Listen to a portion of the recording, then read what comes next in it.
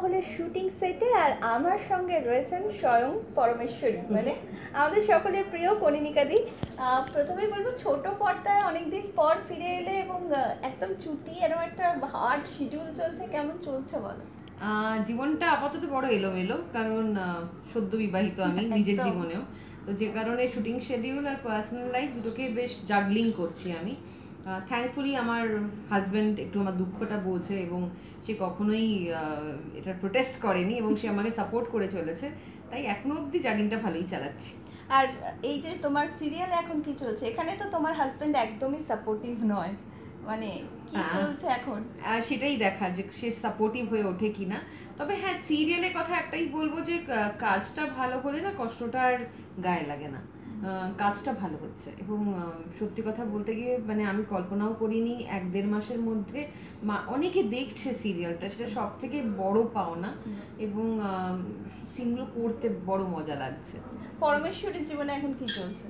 পরমেশ্বরীর জীবন তো এক একটা লক্ষ্য নিয়ে দৌড়োয়। সে তো সংসার করতে এসেছে জুজুর মা হয়ে ওঠার জন্য এসেছে। সেই মা হতে পারবে কি পারবে না সেই দ্বন্দ্বটা চলছিল আখেরে গিয়ে সেই জুজু যদি হ্যাঁ বলে দেয় বা একটু তাকে অ্যাকসেপ্ট অ্যাকসেপ্ট করে নেয় সে চেষ্টাতেও লেগে আছে হাত পা ধুয়ে। আগামী দিনে কি হতে চলেছে বলো তো? পরমেশ্বরীর জীবনে? সেটা একমাত্র লীনাদি জানে না। কেউ জানি না কি হতে চলেছে অন্দরমহলে। তবে হ্যাঁ যখন গল্পটা শুনে আমি এটাকে হ্যাঁ করেছিলাম কাজটা করার জন্যে আমি এইটুকুন জানি যে এই গল্পটা মানুষের একটা কোথাও মেয়েদের স্পেশালি মন ছুঁয়ে যাবে। অনেক না বলা কথা মানে সেই যেগুলো আমরা লুকিয়ে রাখি না, যেগুলো আমরা বলি না।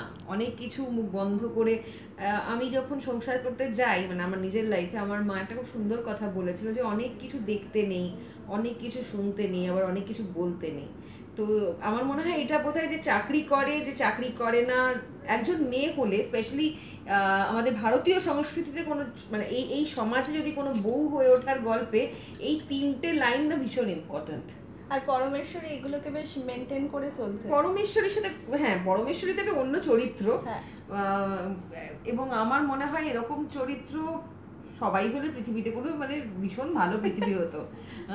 পরমেশ্বর বড় ভালো মেয়ে। হ্যাঁ সেটাই আমি জিজ্ঞেস করছি যে পরমেশ্বরী চরিত্রটা করতে গিয়ে পরমেশ্বরী যেরকম টাইপের যে কোনো শ্বশুরবাড়িতে এসছে সব কিছু মেনে নিচ্ছে আস্তে ধীরে মানানোর চেষ্টা করছে সেই জায়গাটা থেকে দাঁড়িয়ে তোমার কেমন লাগছে? যে কারণ একদিকে তুমি তোমার ওইদিকে সংসার পাঠ চালাচ্ছ। এইদিকে পরমেশ্বরী দুটো কি কন্ট্রাস্ট নাকি একই রকম? দেখ আমার এটা অলওয়েজ মনে হয় আমরা যেভাবে মেয়েদের যে কোনো মানুষকে মেয়ে ছেলে নির্বিশেষে আমরা যদি আজকে স্কুলে পড়তে পড়তে হঠাৎ করে কলেজেও ভর্তি ভর্তি হই আমাদের কিন্তু অনেক অ্যাডজাস্ট করতে হয়। অনেক কিছু নিজেকে নিজেকে বদলে ফেলতে হয়। এবং সেই গড়ার মাঝখান দিয়েই একজন মানুষ তৈরি হয়। আমার মনে হয়েছে বিয়ের পরে অবভিয়াসলি আমি এতদিন যে মানুষটা ছিলাম, আবার সেই মানুষটা থেকে বদলাতে আরম্ভ করলাম অন্য একটা মানুষ হওয়ার জন্য। আজকে বিয়ে না করে অন্য কোথাও গেলে বা আমি যদি আজকে অন্য দূরে কোথাও কাজ করতে যেতাম, নতুন কোনো চাকরি নিতাম, সেখানে গিয়েও আমি কিন্তু একই জিনিসটাই করতে হতো।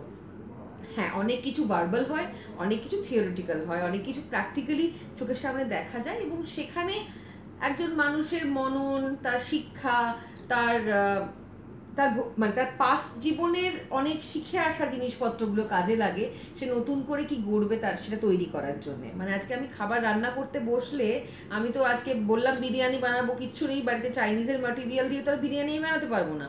বিরিয়ানি জিনিসপত্র দরকার হবে, সেগুলো আমি আগে থেকে জোগাড় করে রাখতেই হবে, প্রত্যেকটা মেয়েই রাখে।